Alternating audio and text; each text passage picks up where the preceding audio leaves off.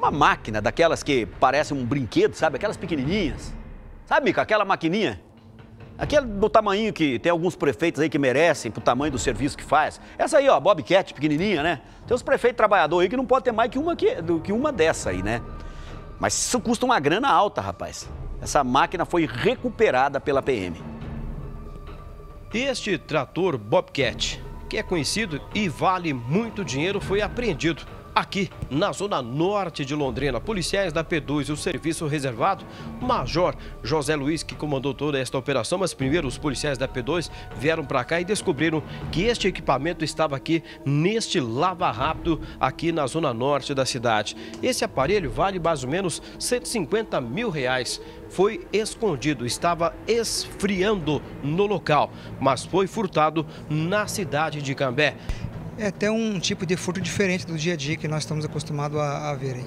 Segundo consta, esse, essa Bobcat foi deixado pela empresa na, na, em uma borracharia em Cambé, que cede é, esse espaço para deixar esse veículo.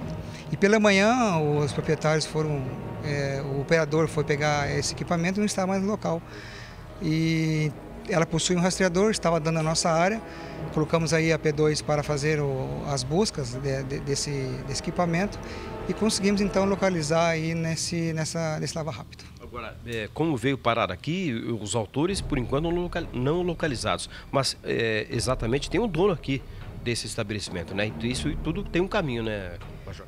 É, foi localizado no interior do Lava Rápido um, um cartão, feito contato com o proprietário, de, segundo ele está em Curitiba.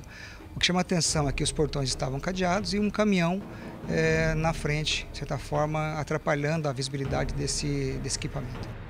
O caminhão tá tudo certo, não tem nada de irregular. Agora que barbaridade, né, rapaz? Isso é encomenda, certamente.